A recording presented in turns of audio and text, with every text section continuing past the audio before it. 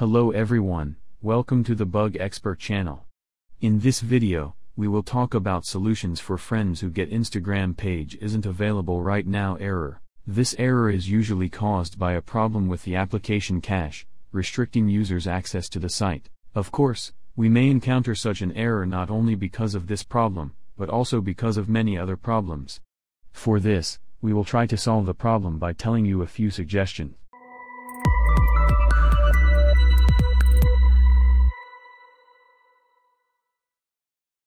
We can eliminate the problem by making a VPN connection so that we can benefit from other servers.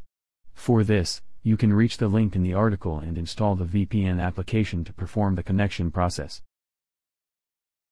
Then run and check the Instagram application by making any VPN connection.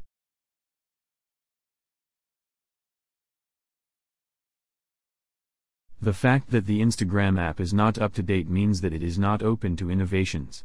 Therefore, we need to verify whether the Instagram application is up to date. Check if the Instagram app is up to date on Google Play Store or App Store. If a new update is available, update it and check. Any cache problem in the Instagram application can cause us to encounter such errors. For this, we can eliminate the problem by clearing the data and cache.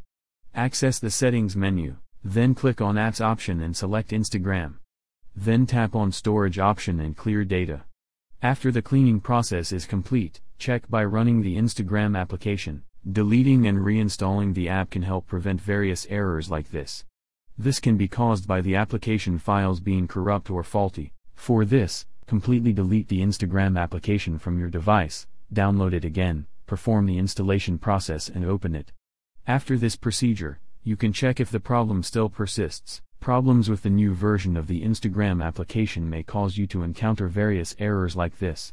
For this, we can eliminate the problem by installing the old version of the Instagram application. Download the old version after reaching the link in the article.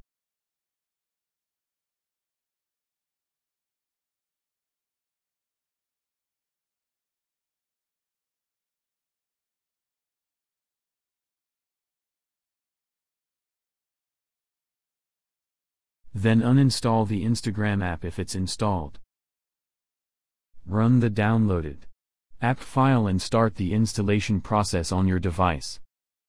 After the installation process is complete, you can check if the problem persists by running the Instagram application. Yes, in this video we have provided information on how to fix Instagram page isn't available right now.